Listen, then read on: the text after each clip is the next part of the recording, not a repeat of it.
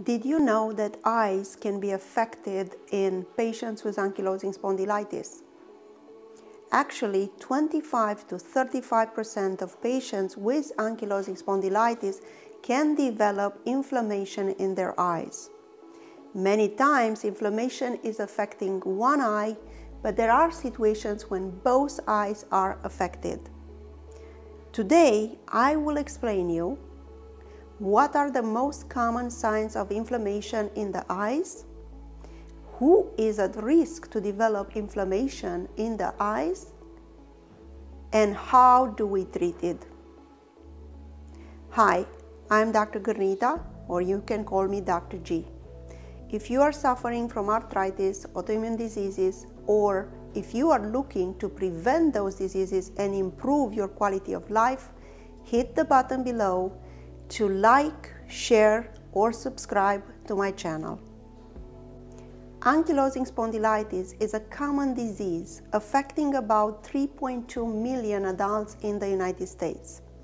These numbers can be actually higher as many patients get diagnosed very late in life.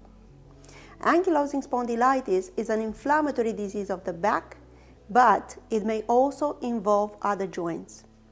Learn more about the common signs of ankylosing spondylitis from another video that I posted in my channel.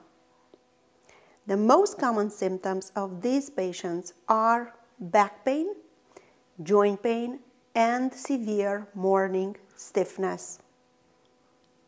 However, ankylosing spondylitis can affect other organs, such as heart, your eyes, your gut, or the lungs. As I mentioned, ankylosing spondylitis can affect eyes in 25 to 35% of cases. It may affect one eye or both eyes.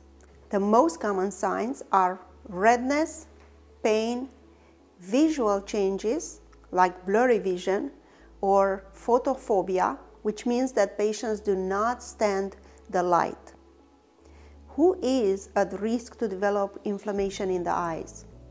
Patients that have the disease for a long period of time or patients that have an HLA-B27 positive will have an increased risk to develop inflammation in the eyes or as we call it uveitis. Sometimes the inflammation of the eyes is the first sign of the disease. About 50% of people with uveitis have a form of ankylosing spondylitis. The severity of the eye disease is not correlated with the severity of ankylosing spondylitis. How do we treat it? Uveitis needs to be treated promptly. Why? Because it can lead to permanent vision issues like vision loss or cataract or even glaucoma. How do we treat it?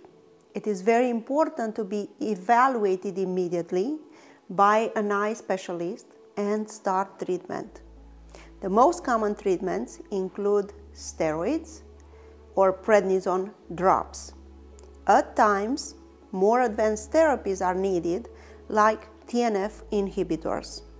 Frequent checkups are required to make sure the eye inflammation is responding appropriately.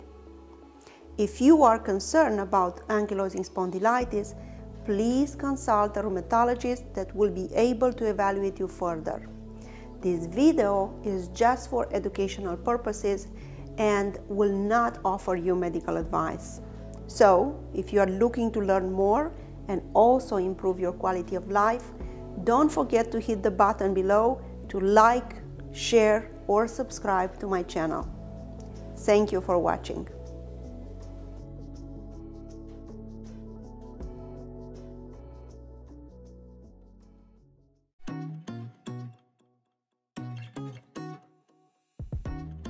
rheumatologistoncall.com.